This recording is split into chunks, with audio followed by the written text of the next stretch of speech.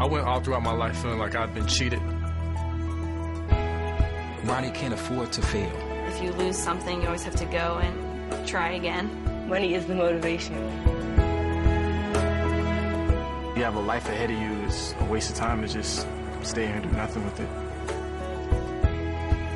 See, my brother, he didn't make it out. And I just went down the wrong path. One day your struggles are going to prepare you for greatness. I don't want to end up falling through the cracks. With the regret of not fulfilling my purpose. Being a disappointment. I don't want to end up dead. I am working my tail off. You can nail it. Nobody knows your business better than you do. Uh, I'm so nervous now, but also exciting. I'll be crossing my fingers. Competition was fierce.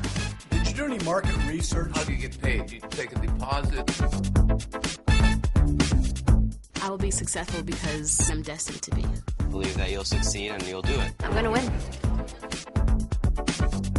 I want to be a champion. I can do anything.